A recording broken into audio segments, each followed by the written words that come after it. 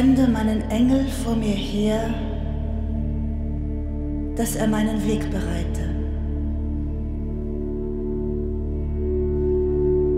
Nun spricht er, seht, ich sende meinen Engel.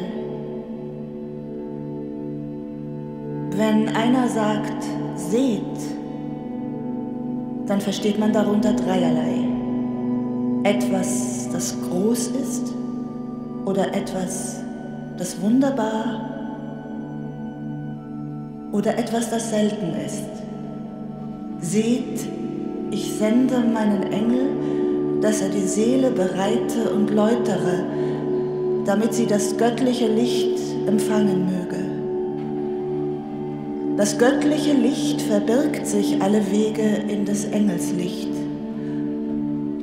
Und das Engelslicht wäre der Seele unwillkommen und erfreute sie nicht, wenn nicht Gottes Licht darin geborgen wäre. Gott umhüllt und bedeckt sich mit dem englischen Licht und wartet nur darauf, heraustreten zu können und sich der Seele hingeben zu dürfen.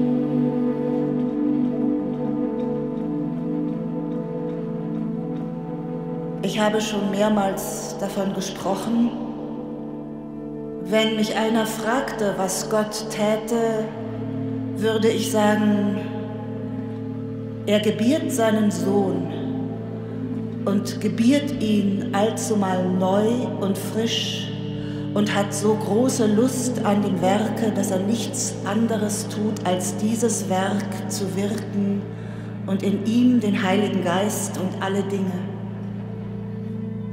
Darum spricht er, seht, ich. Wer da spricht, ich, der muss das Werk aufs Beste vollbringen. Niemand kann das Wort so eigentlich sprechen als der Vater. Das Werk ist ihm so eigen, dass es niemand zu wirken vermag, es sei denn der Sohn. In dem Werke wird Gott alle seine Dinge. Wenn Gott das Werk in der Seele wirkt, ist seine Geburt sein Werk und die Geburt ist der Sohn. Das Werk wirkt Gott in dem Allerinnersten der Seele und so verborgen, dass weder Engel noch Heilige darum wissen, und selbst die Seele kann nicht mehr dazu tun, als dass sie es erleidet. Das Werk gehört Gott allein zu. Darum spricht der Vater eigentlich, ich sende meinen Engel.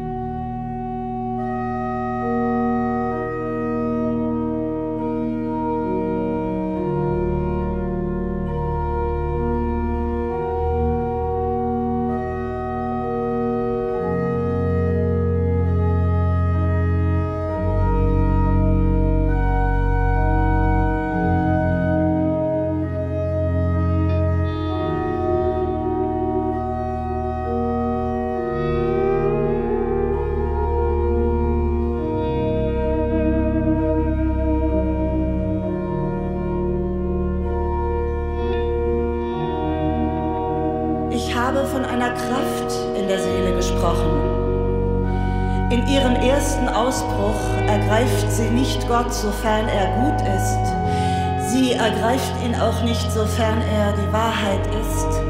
Sie sucht und sucht und dringt bis in den Grund und ergreift Gott in seiner Einheit und in seiner Einöde, nimmt ihn in seiner Wüste und in seinem eigenen Grunde. Darum kann sie kein Genüge finden und sucht weiter, was das sei, dass Gott in seiner Gottheit ist und im Eigentume seiner eigenen Natur. Nun sagt man, dass es keine größere Einung gebe als die, dass die drei Personen ein Gott sind. Als nächstes sagt man, keine Einung sei größer als die zwischen Gott und der Seele. Wenn die Gottheit die Seele in einem Kusse berührt, dann steht diese in ihrer ganzen Vollkommenheit und Seligkeit und wird bei der ersten Berührung von der Einheit umfangen. Da Gott die Seele als ein ungeschaffener und unerschaffbarer berührt hat, wird die Seele nach der Berührung durch Gott ebenso edel wie Gott selber ist. Gott berührt sie nach sich selbst.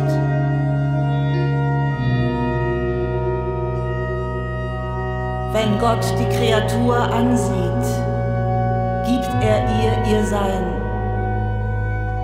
Wenn die Kreatur Gott ansieht, empfängt sie ihr Sein. Seele hat ein vernünftiges, erkennendes Wesen. Wo daher Gott ist, da ist die Seele. Und wo die Seele ist, da ist Gott.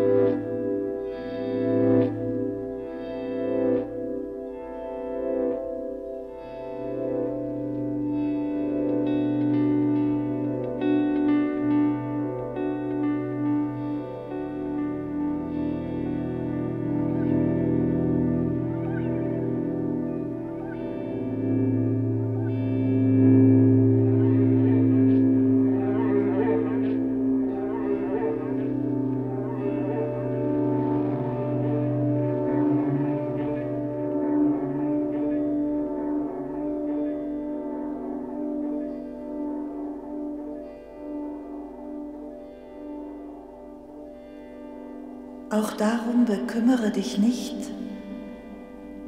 welches Wesen oder welche Weise Gott jemandem zuteile. Lass Gott in dir wirken, überlass ihm das Werk und kümmere dich nicht darum, ob er natürlich oder übernatürlich wirke. Ist doch beides sein, Natur und Gnade. Was geht's dich an, was ihm für sein Werk als tauglich erscheint oder was er in dir oder in einem anderen wirke? Er soll nur wirken, wie oder wo oder auf welche Weise es ihm passt. Ein Mann hätte gern ein Bächlein in seinen Garten geleitet und sprach, Sofern ich nur das Wasser hereinbekomme, da acht ich nicht darauf, welcher Art die Rinne ist, durch die es zu mir fließt, ob eisern, hölzern, knöchern oder gar rostig, wenn mir nur das Wasser kommt. So machen es auch die gar falsch, die sich Sorgen darüber machen, wodurch Gott seine Werke in dir wirke, ob es Natur sei oder Gnade. Lass ihn dabei nur alleine wirken und habe du deinen Frieden. Denn so viel bist du in Gott, so viel du in Frieden bist. und so viel außer Gott, so viel du außer Frieden bist, ist etwas erst in Gott, so hat es auch Frieden. So viel in Gott, so viel in Frieden. Wie viel du in Gott bist oder ob dem anders sei, das erkenne daran, ob du Frieden oder Unfrieden hast. Denn wo du Unfrieden hast, da muss der Unfriede notwendig sein, denn Unfriede kommt aus der Kreatur und nicht aus Gott. Auch ist nichts in Gott, das zu fürchten wäre. Ebenso ist nichts in ihm, über das man trauern müsste. Alles, was in Gott ist, das ist nur zu lieben.